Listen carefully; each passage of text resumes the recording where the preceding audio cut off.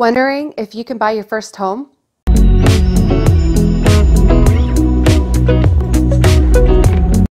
Hi guys, it's Janet Sierk, your Lancaster real estate agent. I wanted to make a quick video because a lot of people are wondering, should I go ahead and purchase a home or should I just extend my lease? Does it make sense to go ahead and buy now, even if I'm not married or even started a family? Or am I even qualified for a mortgage with my income? So, what I wanted to do is share with you the latest report from the National Association of Realtors of what a typical first time home buyer looks like. As you can see, maybe you're not much different than these typical people who've already purchased their first home.